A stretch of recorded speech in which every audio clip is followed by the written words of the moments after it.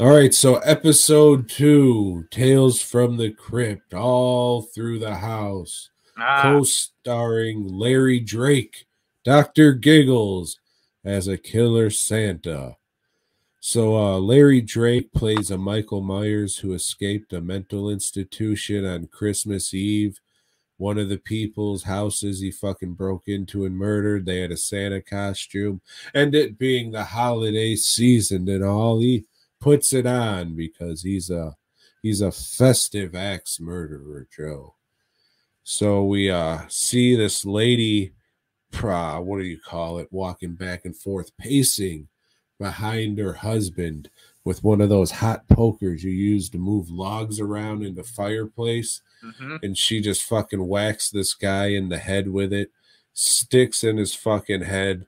The little girl comes down because she heard a noise like, oh shit, is that Santa Claus? Where the fuck is he? I want my shit. God damn. And the mom's just like, no, no, not yet. Get upstairs. Otherwise, Santa's not gonna come. and uh, she goes upstairs, takes the kid upstairs. She tries to get rid of the body and we hear on the fucking radio, oh, there's a crazy Michael Myers running around. Lock your doors. Don't go inside. So she doesn't hear it because she's bringing the dead body outside. But luckily, fucking Larry Drake shows up with an axe. They get into a little tussle. Axes are swung. People are hit with said axes. And she says, You know what? If I stick this axe in my dead husband's head. I could just blame it on Larry Drake. So that's what she does. But then when she goes back to the body, the axe is gone, Joe. Holy shit. So she locks the door, goes to look for the little girl. You hear the little girl downstairs. She goes, Oh, thank fuck, you're safe. And then she pulls Larry Drake. He's like, Hey, I told you Santa was here and I let him in. Yeah, and then she pulls a fucking Tom Atkins in Halloween 3. No! No! No! For like 20 fucking minutes it goes on, and then the cops show up and shoot Larry Drake. That was like a whole distraction, her just screaming, No, no, no, for so long because she knew eventually the cops would come and Larry Drake would be shot and killed and he would be blamed for the murder of the husband. And this was the only episode of Tales from the Crypt that ended happily ever after. Except none of that happened and it ended with her screaming.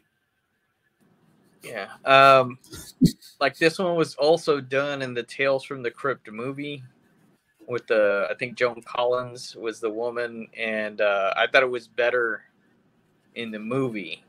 Like I honestly don't remember the this episode that well, but uh, but yeah, and it's one of the better stories from the Tales from the Crypt. You know, like I think it had that. Uh, I forgot the artist's name, but the art looks pretty good on it. But uh, yeah, I don't know, man.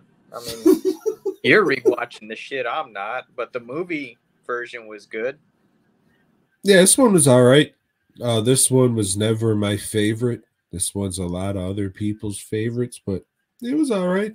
Dean Cundey shot it. It looked nice. Fred Dekker wrote it or adapted it, I should say. So there's that. Yeah, it was all right. Yeah, I think uh see if when I remember from what I remember, I think season one's just okay, and then we really fucking hit the ground running with season two. If I remember excuse me, I'm full of the burps. yeah. If I remember three, I think next you got Chopped Poker to watch, if I remember the order correctly. Oh shit, with our boy Lance Henriksen, Mm, old NSF. So yeah, tune in maybe next week for that or another one. All right then. Boy God.